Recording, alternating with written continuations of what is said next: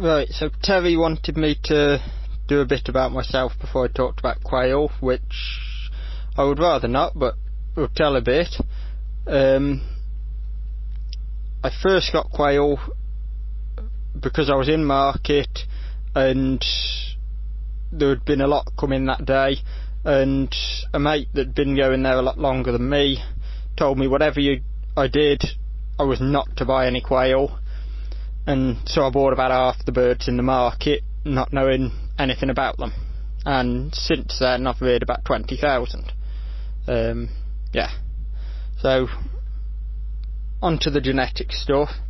The first image is a pure Pharaoh pair with the hen on the left and the cockbird on the right. Pretty simple to tell apart. Speckles on the hen's breast and creamer coloured and rust coloured breast on the cockbird. The second photo is some six week old hens. On the left, Pharaoh, so pure wild type. On the centre is an Italian, so heterozygous fawn and on the right is a Manchurian, so homozygous fawn. The Italian is quite simple to recognise, very yellow base colour with a mix of black and red spots on the back. For feather sexing, it's the same as Pharaohs. Pretty simple. The Manchurian, compared to the Italian, will have next to no red spots on the back and less of the black spots and as it ages will have a clear breast with no spots on it on the hens. The third photo is a Manchurian pair, so homozygous fawn. As you can see the cocks have a lot less markings on the back than the hens and no markings on the breast at all as opposed to a few down the edges on hens or some on the young hens. Cocks also generally have a paler colour around the head, so brown or rust rather than black or dark brown. Um, yeah, simple to feather sex, but have to go off the head or back markings rather than the breast markings, although there is a slight difference in shade on the breast markings. The markings on the birds will decrease on any fawn as they age. So younger birds up till four weeks, even Manchurian hens, will have a lot of speckles on the breast, whereas older birds will keep losing it as they age. The fourth photo is an Italian pair, so you can see a lot more markings on the backs and breast on the hens. The red markings present on both sexes as well. These are pretty simple to feather sex, as you can see. Less markings on the he head for the hen, but darker. More but paler markings on the head for the cock, and a darker base colour on the breast for the cock, and speckles on the breast for the hen. Final photo in this batch is a Manchurian cock on the left, so homozygous fawn. Centre is an Italian cock, so heterozygous fawn and on the right is a Pharaoh cock, so wild type. Again, you can see pretty much the same homozygous fawn with very little markings of any colour and a dark gold colour all over. Heterozygous fawn with a lot of red and black markings on the back and a gold colour on the rest of the body. And again, pure wild type with a rust coloured breast and a brown back with gold feather pinning. Second batch of photos is extended black. The left on the left in both photos is a pure Pharaoh hen.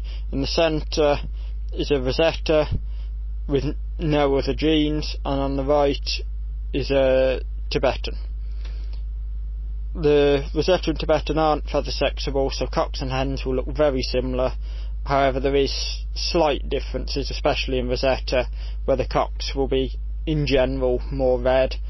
However, this can be affected by sex-linked brown or fawn as well. The Rosettas still have the gold centre feather pinning that the Pharaohs do on the back. However, it is a lot finer and less prominent. They do not have the cream coloured breast and instead have a black and brown barred colouring on the breast.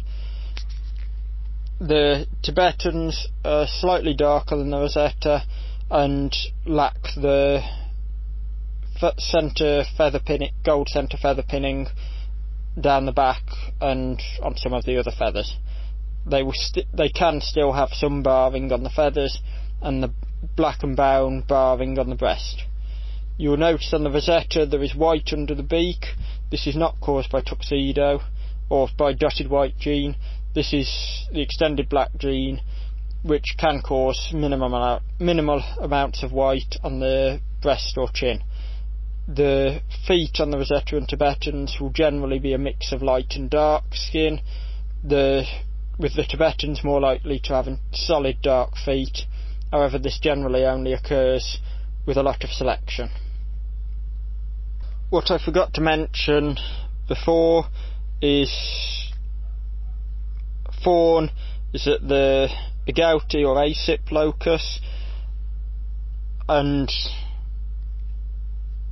extended black is at the black or MC1R locus.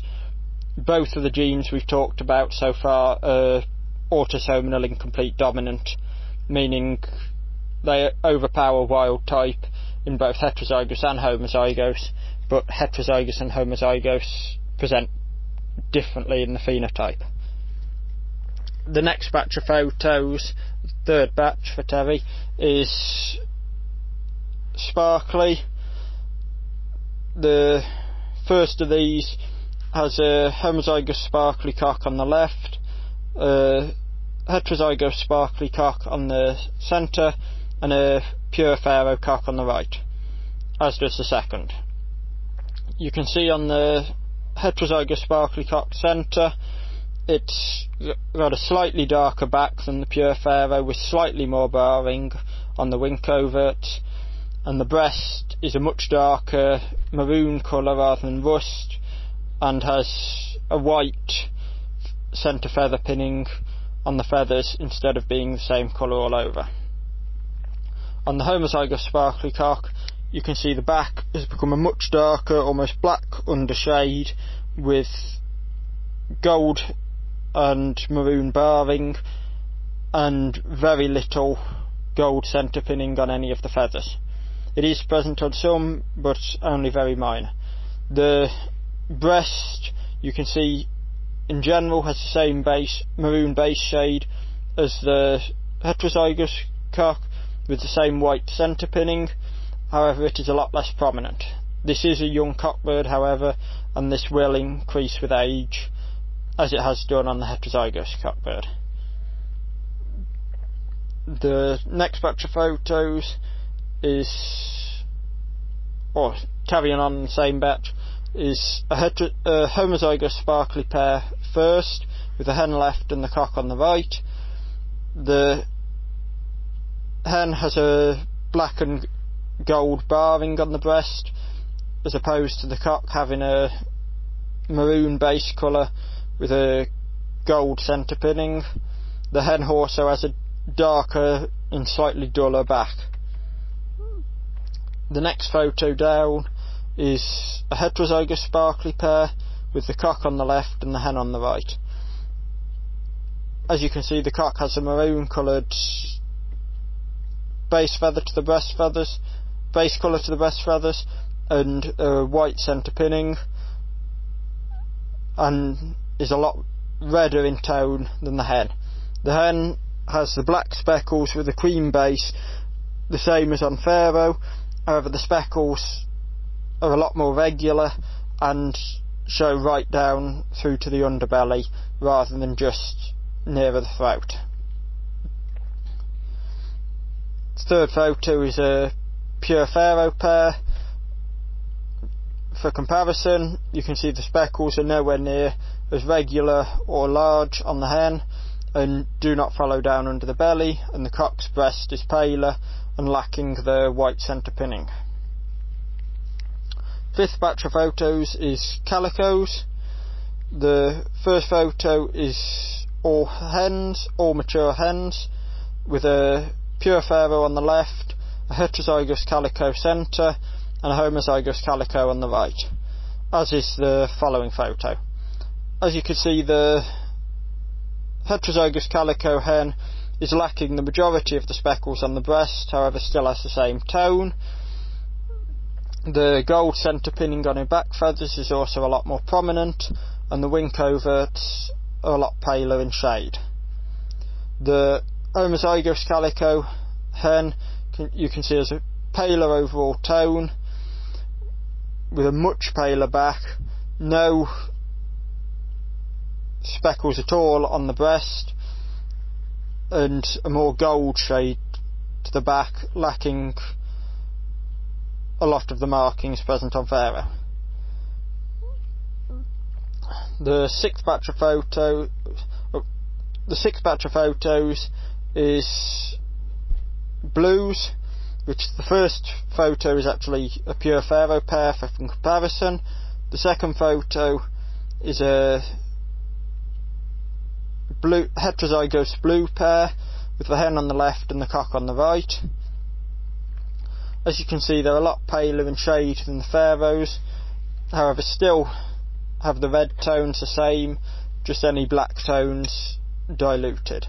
The hen you can see still has the speckles on the breast. If you're trying to feather sex these birds, then the speckles will show up by far the best under an LED torchlight, like the one on your phone. Um, they can be feather sexed just the same as Pharaoh in that way, with the cocks having the rust coloured breast and the hens having the paler speckled breast. The third photo in this batch is a homozygous blue cockbird. You can see they're almost white in shade, but have a dark beak and eyes, or have a dark beak, unlike dotted white birds, and still possess pharaoh markings, just extremely diluted. The seventh batch of photos is dotted white. So, on the left, on the first photo, is an English white or homozygous dotted white. In the centre is a Pharaoh tuxedo, so heterozygous dotted white with no other genes. And on the right is a pure Pharaoh cockbird for comparison. As you can see, heterozygous gives a tuxedo marked appearance. However, on most pharaohs, pharaoh lines that haven't been selected for this appearance, this will present as simply a few feathers on the breast or wings. The cockbird in, in the picture has been is off a line that's been selected for about five to seven generations for tuxedo markings on the breast, giving them a proper tuxedo appearance. All of these birds only have the dotted white gene affecting them and no other gene. The next photo down has a dotted white bird on the left, or homozygous dotted white, so English white bird on the left, a heterozygous dotted white on homozygous EB base in the centre, so a Tibetan tuxedo, and a Tibetan on the right. The bird in the centre, as opposed to the Pharaoh tuxedo, is how most Tibetan tuxedos will appear without selection, as dotted as extended black can show some white on birds without the dotted white gene. It also increases the white coverage on birds with the dotted white gene, meaning it's easier to breed the proper tuxedo markings. The dotted white, the English whites that are extended black based are generally very similar to the wild type based ones, however, although they can be less, although they can more regularly show as pure white birds not having any dots. Right, the eighth batch of photos. This gene isn't as common anywhere, but is one of my favourites, so I wanted to include it. Is the white-winged pied gene. The bird on the left in the first photo is a homozygous white-winged pied on homozygous EB, so a Tibetan white-winged pied. The bird on the right is a homozygous EB, homozygous dotted white, so English white. The as you can see on the English white, the ideal markings and the most common is a white bird with a single dot on the head, as opposed to the white-winged pied, which present with nearly a tuxedo marking, other than little to no colour on the wings, and breed true in this marking as opposed to tuxedos that don't. Um, the next photo down mentioning tuxedo has a homozygous EB heterozygous dotted white on the left, so a Tibetan tuxedo. On the right has a homozygous EB homozygous white wing pied, so a Tibetan white wing pied. As you can see, the white-winged pied, whilst it had more colour than the English white, has a lot less colour on it than the tuxedo. And whereas the tuxedo will when bred together, will produce a quarter solid coloured birds, half tuxedo and a quarter and a quarter English white. The white-winged pied, when bred together, will produce 100% white-winged pied. This is one of the original pens I had when the white-winged pied gene was first recorded, and one of the pens where my line, which is the most, which has ended up becoming the most common through Adam and some others, has originated. These were a mixture of dotted white and white-winged pied birds that have been mistaken as just bad English whites and tuxedos. The next batch of photos, ninth batch, is fees. So the first is Falb Fee and cocks. The, on the left is a Falb Fee, however it is only heterozygous Fee. Homozygous Fee would be a lot would be lacking red tones completely, whereas this bird still has partial red tones showing. It is, however, however very different to the Pharaoh, with a white instead of rust coloured breast, and red tones lacking from the majority of the rest of the body. The next photo down is Grau Fee on the left and Rosetta on the right. Both are heterozygous EB, however Grau Fee can be heterozygous or homozygous EB. The Grau Fee then also has heterozygous Fee, which Grau Fee should ideally be homozygous Fee. The bird in question isn't, and still possesses a few red tones because of this. The next photo down is pearl Fees, both are homozygous fawn. Pearl Fee is pearl Fee on the left and Manchurian on the right. Both hens, both are homozygous fawn. Pearl Fee can however be homozygous or heterozygous fawn. Again, as with the others, they should ideally be homozygous for Fee to remove all red tones. This bird is not, it is heterozygous Fee instead, meaning some of the red tones are still present.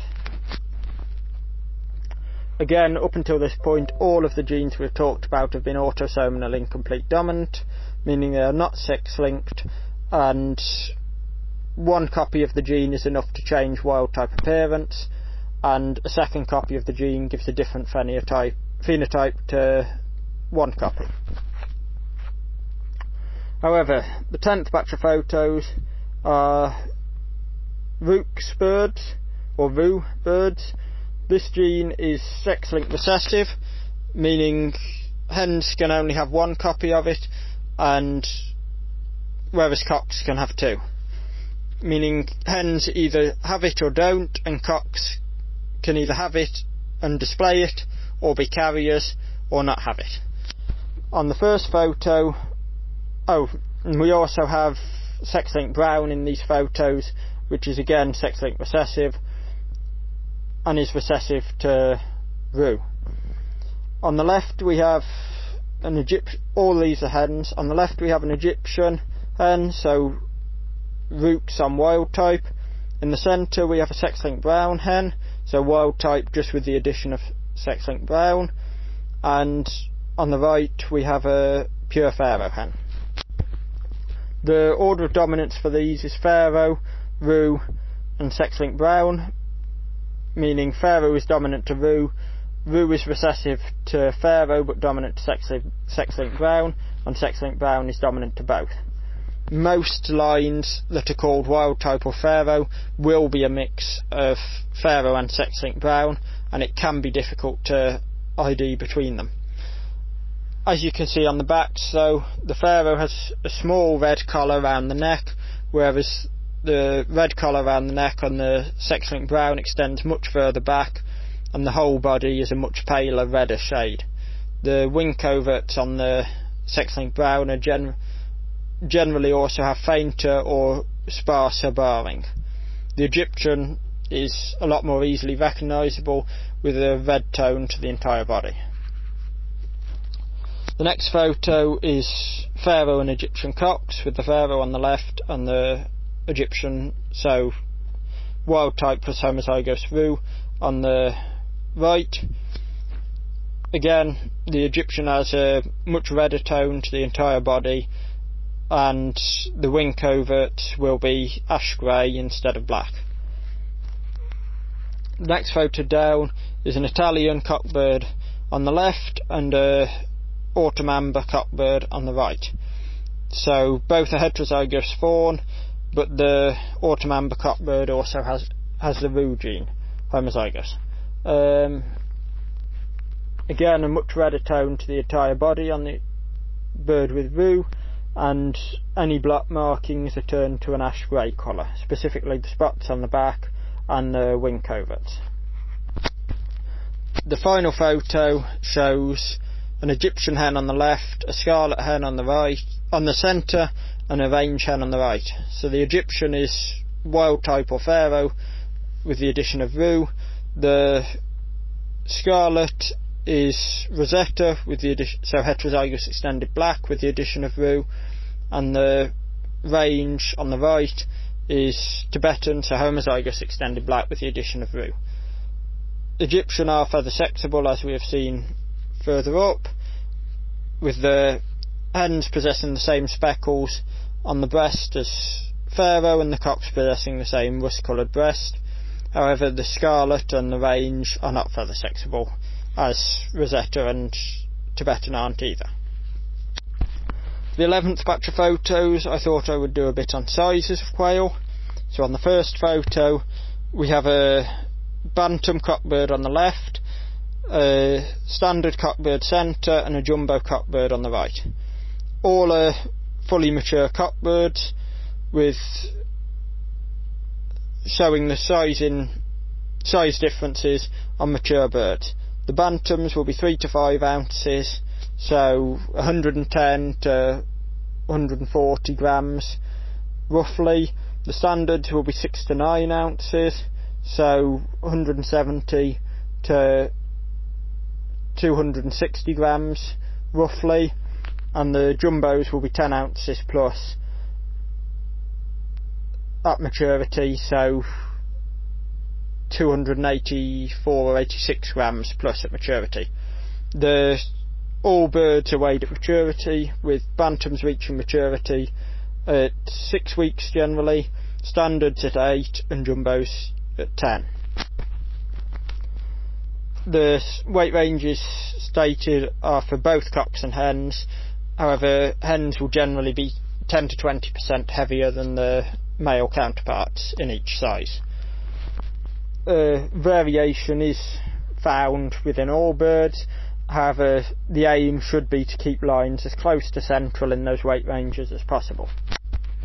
For jumbos, most lines will tend to be, or most good lines will tend to be 14 to 16 ounces at maturity. Any heavier is possible, and up to 19 ounces or heavier have been recorded. However, they tend to have much higher incidences of foot problems and leg problems. For the next photo, I thought I would show the difference in um, how different birds can weigh on look versus look.